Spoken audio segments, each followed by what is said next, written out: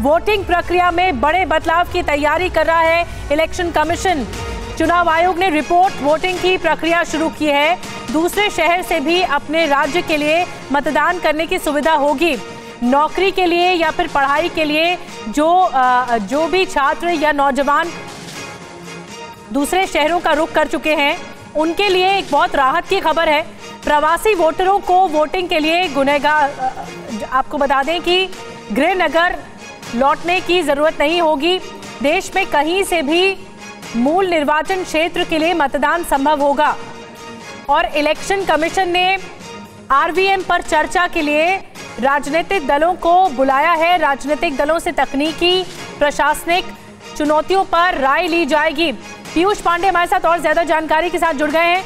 Piyush remote voting पर ज़ोर दिया जा रहा है। और ये एक बहुत बड़ी राहत की बात होगी, जो कि प्रवासी वोटर्स हैं, छात्र हैं, या फिर नौकरी के लिए एक शहर से दूसरे शहर में लोग जाते हैं, उनके लिए राहत की बात होगी। जी, बिल्कुल, ये बहुत अहम कदम है चुनाव आयोग का। सीधे पर ये कहा जाए कि prototype remote electronic voting machine जो है, उसके ज़रिए इसमें बहत्तर निर्वाचन क्षेत्रों का मतदान कराया जा सकेगा। लेकिन इसमें कुछ अड़चने हैं और उसी के लिए राजनीतिक दलों को चुनाव आयोग ने आमंत्रित किया है। 16 जनवरी को इस पर राजनीतिक दलों के साथ और विशेषज्ञों के साथ चुनाव आयोग बैठक करेगा। खास तौर पर इसमें जो रिप्रेजेंटेशन ऑफ़ पीपल एक्ट है 1950 और 1951 इसके अलावा चुनाव आयोग का जो संचालन नियम है और चुनाव आयोग का रजिस्ट्रीकरण जो नियम है, उस पर चर्चा की जाएगी। साथ ही प्रवासी मतदाता को परिभाषित करने और रिमोट वोटिंग को परिभाषित करने पर भी चर्चा की जाएगी। इसके अलावा चुनाव आयोग ने 31 दिसंबर तक सभी राजनीतिक दलों से ये कहा है कि वो अपना लिखित राय भी चुनाव आयोग को दे। जी।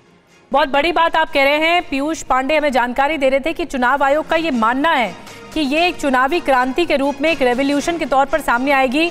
जो लोग भी बचते हैं वोट देने से उनके लिए भी एक तरह से एक बहुत राहत की बात है, क्योंकि दूसरे शहर में शिफ्ट हो जाने की वजह से लोग वोट नहीं दे पाते हैं।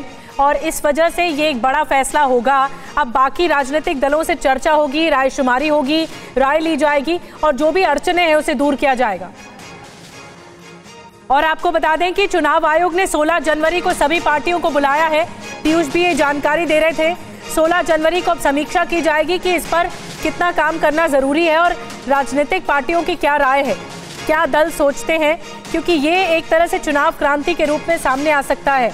बड़ी बात यह है कि चुनाव आयोग लगातार ये सोच रहा है कि इस मामले पर विचार किया जाना चाहिए और काम किया जाना चाहिए।